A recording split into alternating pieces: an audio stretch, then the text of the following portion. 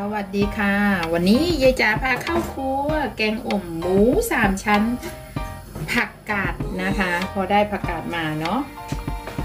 ะ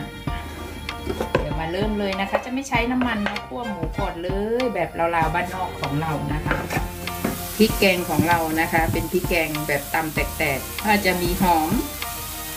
กระชายนะคะพริกแล้วก็ตะไคร้เนาะ แบบบ้านนอกเลยนะคะ เดี๋ยวคั่วหมูสุกก่อนแล้วเดี๋ยวพริกแกงตามลงไปจ้า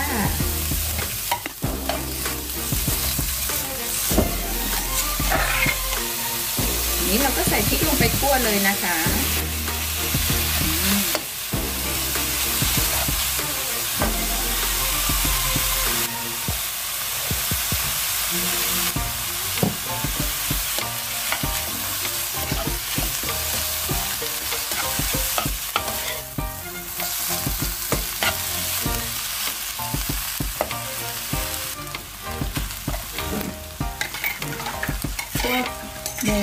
สุกแล้ว ใส่น้ำล้างครกลงไป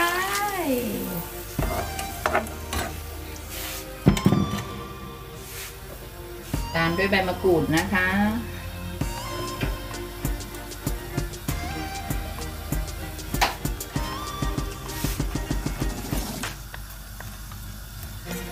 ปล่อยให้หมูเดือดก่อนเนาะ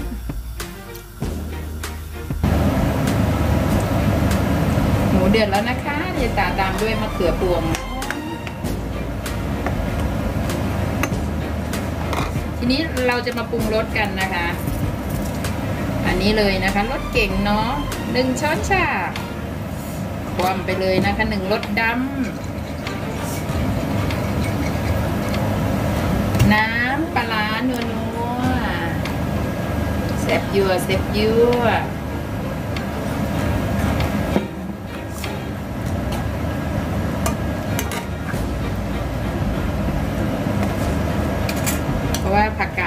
ส่แล้วขึ้นเลยเนาะเดี๋ยวเคี่ยว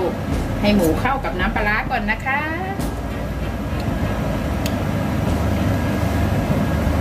เคี่ยวหมูให้สุกแล้วนะคะ เดี๋ยวเติมน้ำปลาอีกนิดนึงเนาะทีนี้เราก็มาใส่ผักกันเลยนะคะปรุงรสอาหารบ้านเราก็ไม่ได้ยากนะคะ นี่คือผักกาดเนาะ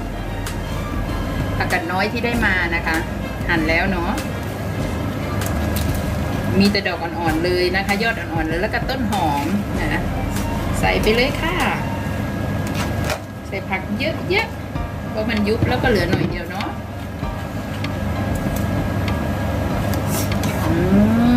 อ่อมผักกาดนะคะ ก็เหมือนผักยอดผักกวงตุ้งบ้านเรานะคะผักกาดหมูสามชั้น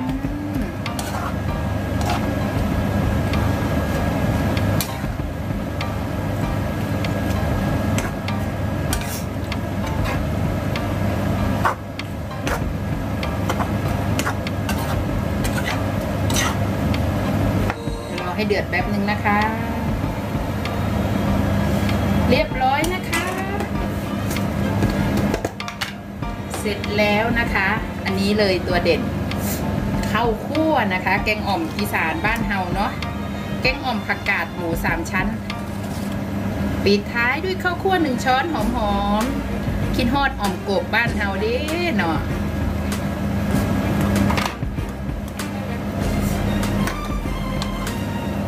เลยค่ะ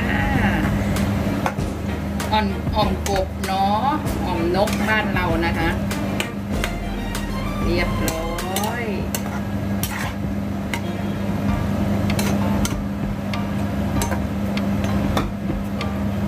หอมๆค่ะ